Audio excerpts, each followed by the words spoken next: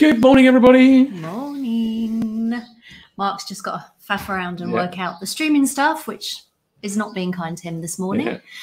Hello, it's Sunday, apparently. Um, how is everybody? I hope you're doing okay. We we've got miserable weather.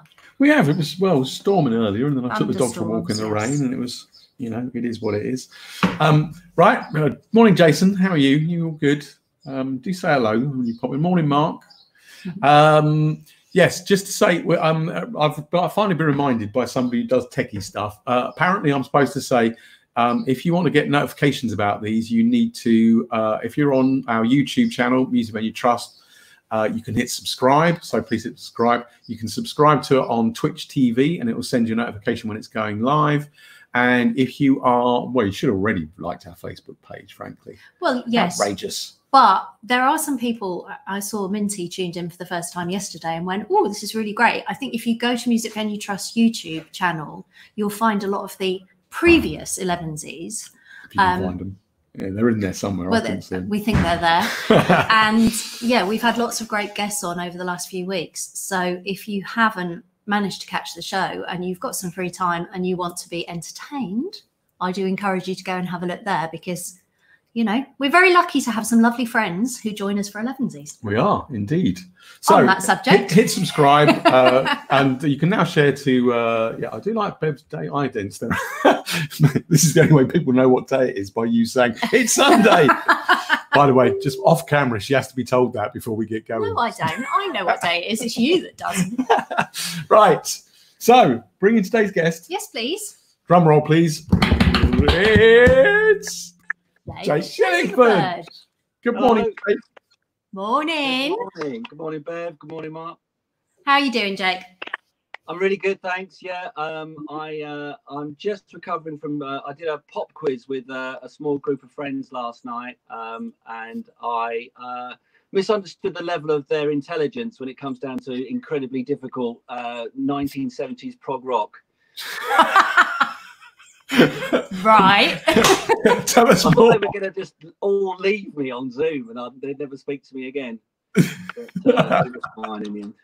You know, you know the best pop quiz question of all time. Go on in. I'm ready. Okay. In Squeeze's Up the Junction, what time was the baby born? Oh, good grief. Oh, I haven't. Oh, I, I can't confess that I don't know that because I only spoke to Chris Difford on the phone last week. I'm I'm just singing the whole song in my mind. How long have I got? Hang on, I'm getting there. I'm, about, I'm about halfway through verse one. Hang on. No, it's going to take too long. Go on, tell Go on. us. this morning at 4.50, 450, yes. I took a rather nifty. Ah, hang on. Leicester. We're thir- we're 30 minutes late. Uh, so, you get, so it must be 520 then. 20, 20 minutes later. 20 minutes later. That's That a is, killer, that. that is a great question. That is a top. That's I've what you've been got doing. that wrong anyway. That's what you've been doing with your time, is it, Jake? You've been doing. yeah. Just need to squeeze. It's not a bad thing to do. well, Chris lives in Brighton. Yeah, we- we've seen him. We've seen him around and about these parts. Yeah, yeah, yeah. Yeah, Yeah. no, he, he's hope, hopefully doing something for Brighton venues for us as part of Save Our Venues. I had a lovely chat with him this week. So he's Great. working on something and he was saying that he, he really likes where he lives. So he wants to do something for the venues in Brighton. So, Yeah, he's really community minded, and you know, he, yeah, we all see him out and about uh, around in Brighton. Yeah. So, what have you been up to then? Uh, well, apart from doing really difficult quizzes, um, I've um, I've been doing a bit of writing. Um, I've uh, been spending a bit. Actually, what's worked out quite reasonably well is that we finished our My Life Story UK tour um, just sort of at the end of um, when was it? Sort of the end of February. Um, so we managed to sort of squeeze all our live commitments in, and we recorded the tour. Um, so I've been spending a bit of time these these last couple of months um, mixing uh, a live EP, which we're going to put out soon. Um, Cool. And I thought it would just be a perfect time to, to release it while people are missing live music. So um, that's coming out uh, in a couple of weeks' time. Okay, That's cool. that's really good, and it probably puts you in probably a slightly healthier place than people who just started their tour and then had to pull it. And I think some of those musicians are really like, this year is so the opposite of what they were thinking it was going to be. That that's affected their creativity, whereas you were sort of entering another cycle anyway, which was quite lucky for you, wasn't it? Yeah, quite. Um, but although it, it is, it ha- has been quite concerning because we've been looking at, you know, obviously like any other band, looking at moving ahead and, and shows towards the end of this year, and um, speaking to, you know, good people like Mal Campbell from the Trades Club, and uh, I know you know well, and and lots of promoters and agents. It seems to me that, um, I mean, you'll know more about this than I do, but it looks like if they do anything at all from the, those smaller venues, they, they'll halve the capacity, as I understand, but then they'll only they'll only pay the bands half the fee, and it just means bands like My Life Story, we, we just wouldn't be able to make that work financially. Yeah, we're working on all different models of this. I mean, the important thing is to get musicians back to work, you know, and and, and whether that's, I mean, I go beyond that. I, for me personally, I'd say that's important. Whether we whether venues are open or not, we need to find way that mu- musicians can work, you know, and all the crew around them and everything.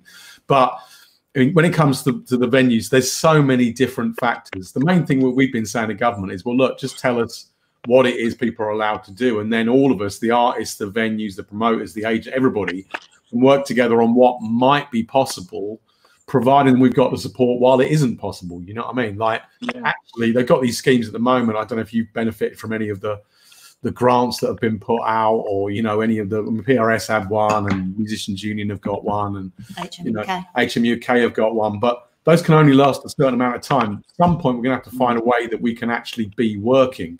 You know, I, I don't know many musicians who want to just live off handouts. You know what I mean? No, I mean, I, I, it was quite interesting because the, the only show we've had cancelled so far was a show in Cologne, um, and the, that only got cancelled because they closed the airport. The venue, the, the law in that in that Principality of Germany, I, don't- I don't know what the name of the area of Cologne is, but um, the county or whatever.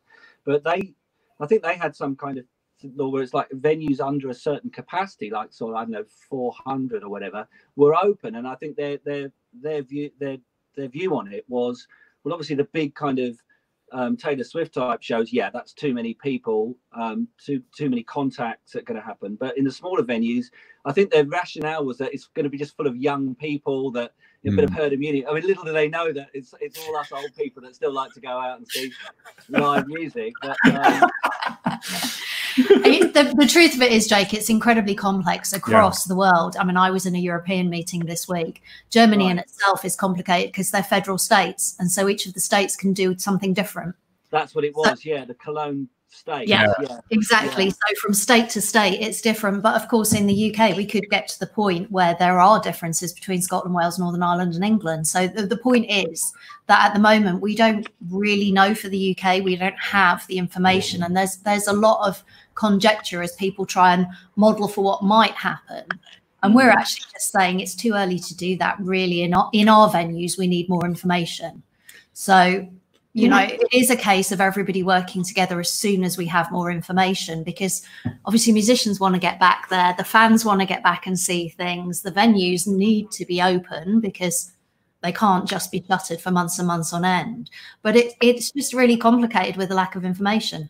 Well, and also I'm going to I'm going to drop in one thing we have got going for us in our sector: musicians, the crew, the venues, everybody like that. We're all incredibly inventive. Mm. Yeah. Do you know what I mean? We're, we're full of ideas. I mean, we weren't full of ideas, the circuit wouldn't work at all. Let's be honest. We're not. None of us are doing it because we're making millions of pounds out of it. We're all working out how can we make this show happen. It's you know, and and I think there'll be a lot of innovation coming forward, and we'll try. You know, everybody's going to try and think of something that can be done. And also, it's a sector that can respond quite quickly. You know, we But- don't need six to 12 months planning to do things, but we do need to know what the parameters are. Well, and some of some of it, you know, some of the big promoters, the bigger promoters, or, or even you know, people who've just got a real. I mean, you talk about Mal at the Hebden Bridge Trades Club. You Mm. can't put Mal's lineup back in at you know seven days' notice. takes takes two or three months to the Yeah. minimum to get something like that going. You know, so it does depend on the venue. You know, and it depends on on depends on the lineup of musicians. But just saying live music can't happen. Well, Bob's got a banjo, and I think he can sit on a stool in the corner. You know what I mean? And Yeah. that's somebody's definition of live music. So there's going to be something, but it's just about how it's done and when it's done. And I think it's quite likely, certainly, that the international touring circuit will be closed for quite a long time. Right. I read a very intelligent thing this morning about how local scenes will probably emerge before the national scene. You know, so I think it's it's an interesting thing. Mm. Um, speaking of music, though, Yes, please. oh, we've stopped. I've stopped. Wait a telling- minute. What's this? Yeah, what's what's what's appeared? So- Yeah, Actually, I was we do just like to chat to you, Jake, but you know we also like to listen to you. Oh, yes, well, of course. Well, I'll um, yeah, I'll do a couple of songs for you today. I was just thinking, actually, trying to think of creative things for the live music scene. We should uh, we should uh, get our collective heads around how we can do a social distance mosh pit in a in, in about six months. That, that would look pretty hilarious. Well, depending on the depending what you play now, me and Bev will have a go at it, and uh, you can probably come back out. Maybe I'll be crowd surfing across the office. No, no, I, I would say I, I leave things like that to my teenage daughters. I don't do those things. So we, we'll we'll drop out and let you play a song. We'll come back and have a chat with you in a sec. All right, this one's called Broken. It's our last single.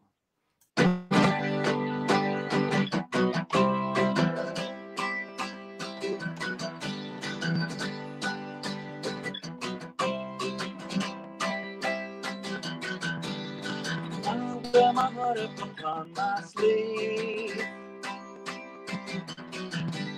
And I keep them right up for all to see. When did you ever believe in me? No one can have this much and not bleed.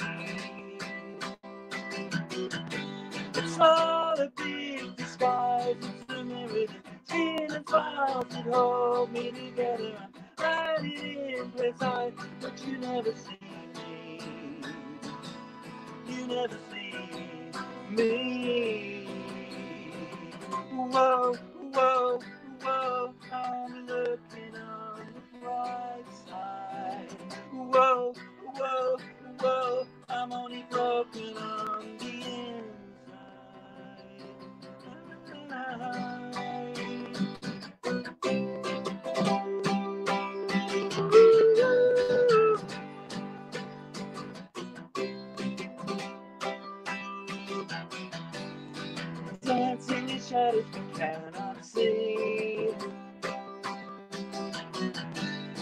Throw things and arrows to keep the peace. The difference between you and I is me. So dyed in the wool that the colors bleed.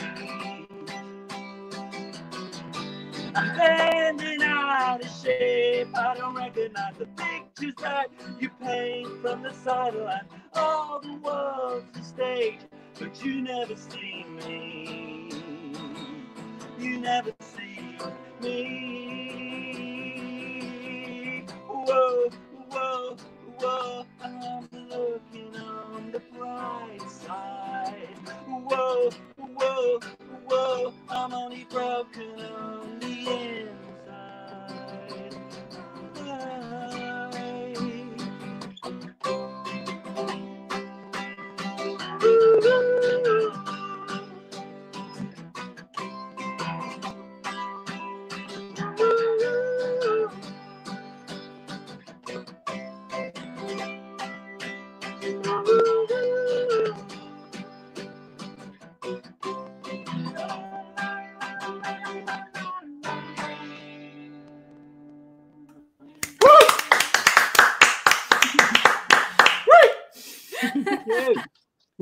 I've got people going woo in the comments. Yes, very definitely say. because of the latency bit though, the, the woos are coming after you finish doing the woos. like a call and response. Yeah, yeah, yes. Yes. But while you're in the while you're in the verse, people are going woo woo woo. So so I'm going to ask a strange question. Oh, How many how many members are there in my life story at the moment?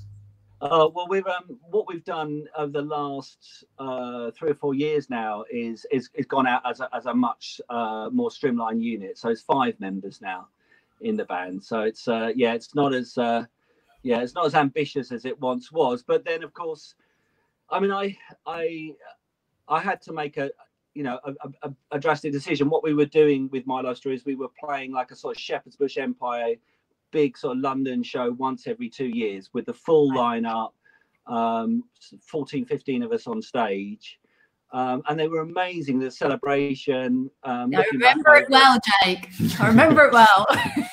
so, so I, I, you know, and, and and what there was so much work that went into it, Bev. That I, you know, I'd wake up in the morning and I'd sort of have this incredible, incredible low crash because I just wanted to get up and just do do another show again, and it it made me realize that actually for me in my heart of hearts i'm just a, an animal that just likes to go out there i don't you talked about the banjo in the corner of the room. I mean, if there, if that's what it came down to, then I'd pick it up and learn it. And I, I just, it's, I, I can't explain it. Uh, it's just in me. I just want to play and perform and communicate with people. For me, being a songwriter is all about communication. End of.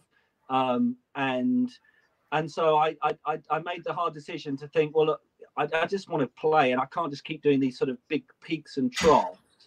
Um, with all that hard work that went in, and we paid the band, the whole band, everybody got paid um, you know, reasonably well. So we, we, never, I mean, I personally didn't benefit from it in a finance, not that it's about the money, but there's a lot of work that you, yeah. you obviously yeah, need to sure. get paid for. So, so yeah, I, I just, you know, I, I, was encouraged by a few friends and, and talked to a few sort of close people and they said, get out there, you know, people want to hear it. And, and most importantly, talking to fans of My Life Story said, look, you know, just, you know what they're doing now? They sing all the string parts that we can't do on stage. I, I'm going to be honest. When we saw you recently, just playing an acoustic set, well, there was two I, of you, wasn't so it? I was doing that. Right. I was doing the swirls. Yes, I was. I could hear them in my head as well. but, I mean, that, I think that's partly why I asked Jake because when we saw you just before Christmas for Karen's fiftieth, yes. it worked brilliantly, just two of you. But I know that there's a bigger format as well. And then, of course, in my heart of hearts, you are this ginormous band with a string section and a brass section and what have you, because that's how I first saw you. Well, we should we should say at that point that it was one of the first gigs we ever went to together. Frankly, yeah, we were. We, it was you plus David Devant and his spirit wife at Dingwalls. At Dingwalls. Yes, the and you were, Sundays. Yeah, and you were nice. trying to trying to cram I think there were 12 people in the band at that point on that tiny stage in Dingwalls. Yeah. that was a marvelous night out. and, being, from the music industry, of course, what I did was stand halfway at the back for half the show going, well, this doesn't make any financial sense. what, trying to chat Bev up at the same time? Yeah, you know, yeah. in between. what do you think of the band? It can't be economically working for Well, obviously it worked, didn't it? Because that was 24, 25 years ago. So, Good you know. Grief, it was, wasn't it? Actually, oh, I was. The month of Sundays was 96, 96. or 97? No, 96, I reckon. No, no, no. 95, I think. 95? If it, it, or if it was 96, it would be very early. Yeah, early 96. March because we didn't have a record label in 95 and um and month of sundays was was was in all honesty just a, a make or break four four sundays in a row here's what we've got if any record companies want to come down and sign us then you can otherwise you know we can't really function as as we are so we'll split up and um actually yeah. i know exactly when it was. I know exactly when it was. It was the middle weekend of march 1996 because it was the most crazy weekend. We saw Longpigs on friday night at tunbridge wells forum. We saw divine comedy at splash club on saturday night. And then it was my life story and David Devant at dingwalls on the sunday night. Wow there you go that's one of my favorite ever weekends. And Rita, I married her. if I ever forget something, can I just call you? it doesn't always work, Jake. But yeah, yeah. sure. Did you see yesterday's where Steve was reading out from his diary and both of us were looking on in puzzlement as he just it was like I went and saw this band and, and he was blank and I was blank and I'm sure I was at the same gig.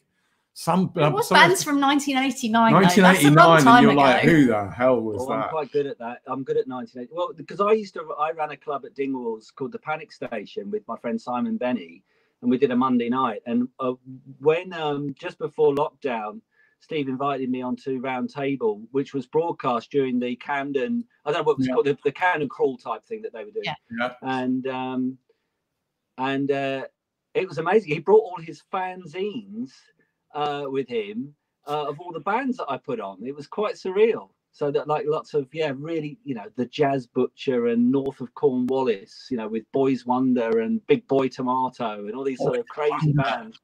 Boys Wonder, yeah. them. They had a look, didn't they, boys? But I no you've idea. set me off now. I'm going to have to go and look up some Boys Wonder. Wow, that's weird. I haven't heard Yeah, that name. Yeah, that, that's sort of what they, I suppose, what people call the scene in between. It was just, it was so eclectic, you know. Um. But, it, Oh. but it was lovely talking to Steve actually um, uh, um, in Camden, and we were reminiscing a lot about, um, you know, all those kind of really weird, strange bands. Um, we were talked a little bit about Birdland. Do you remember Birdland? Yeah. um, who um, I put on. Uh, they smashed up the whole stage. Uh, they smashed their guitars against the famous pillars of Dingwalls when it was in the other orientation, when it was sort of Yep. facing against the canal. And uh, and the the manager came up to me afterwards and and and and with the straightest of faces just said, "And how much do we owe you?" Rather than me pay him the money, and he had the money ready to to give me, so it was all pre-planned. What a gig that was! I don't remember anything about how they sounded. I just remember their hair. That's yeah, they had great hair. Yeah, but it's They all about the great hair. hair, that band. It's hair and trousers. Come on.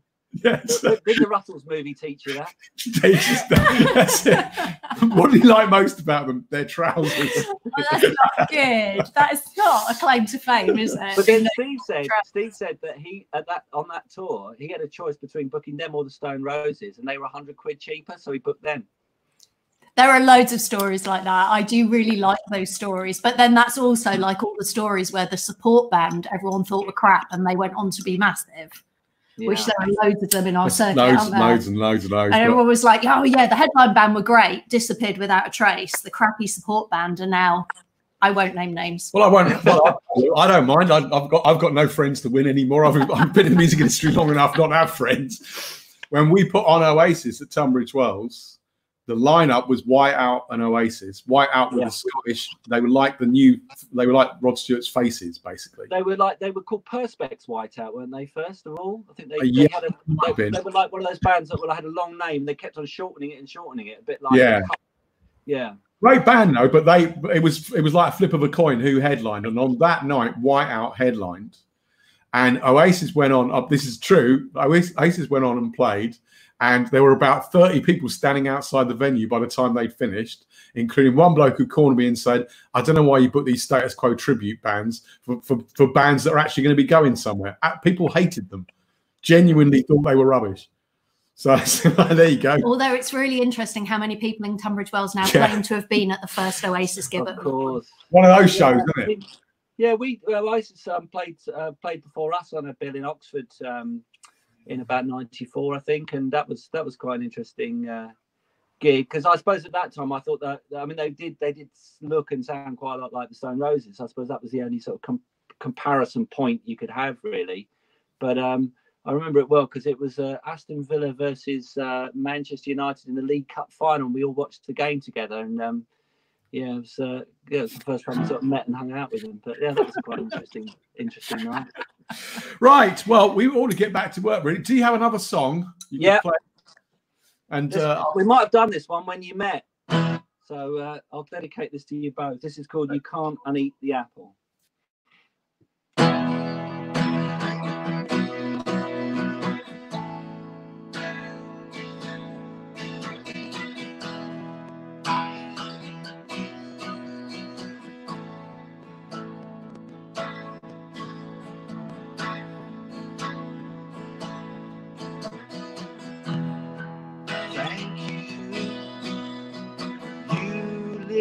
My head down and kiss my tears away, fears away. Yeah. Thank you. You turned my head round and gave me a taste. Every silver line fruit of passion down went straight to our head. You turned away, but I can face it. I know that it's so better now. And I know that we're all through.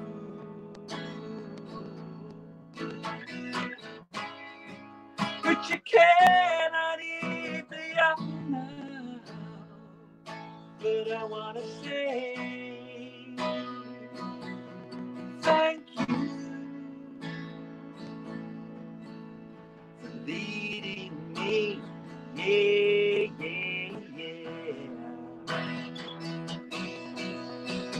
Into temptation we met face to face, but never eye to eye. And you made your excuses. I lay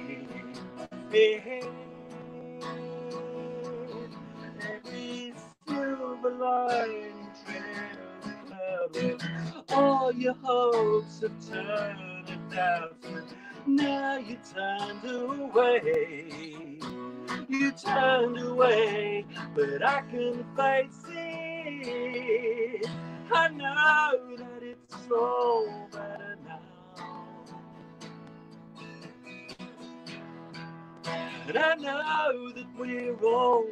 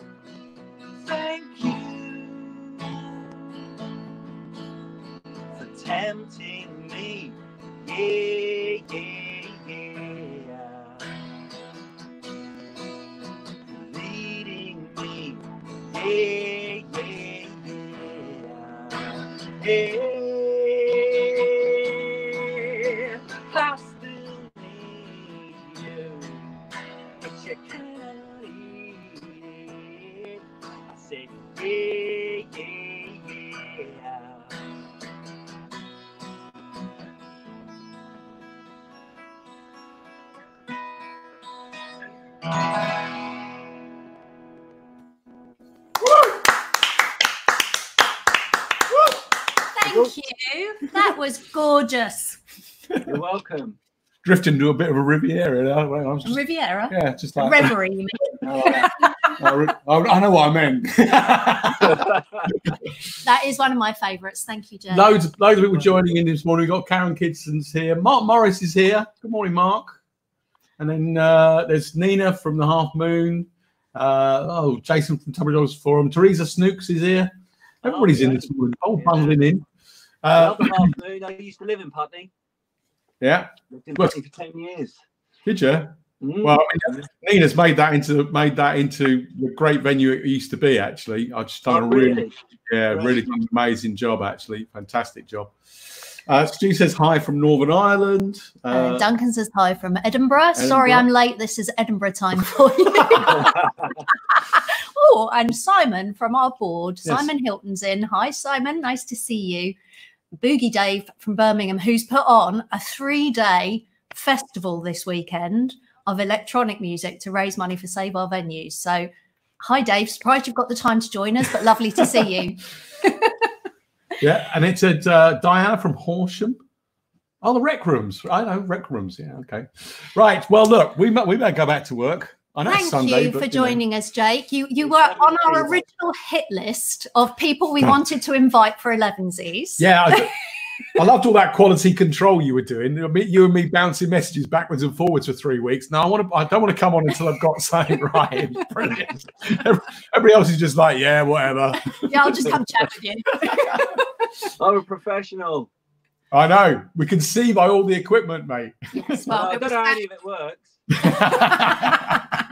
Well, as ever, it was very lovely to see you, and even more lovely to share music with you. So thank you. Thank you, Bev. Thank you, mate. Thanks for dropping in. As, as my my catchphrase, my new catchphrase is, um, "I hope I never see you like this again." but if this does carry carry on, we might send you a message and asking if you Come come back on if you would. I would love to anytime. Any, any help you need, obviously, with all the great work you both do, do, and just from myself and the music community and all the musicians I know, I just want to thank you both for all the tireless work you do. It's really, really is appreciated. Thank you, mate. Thank you, Thank you. Jake. Hope to see you soon. You're welcome. All the best.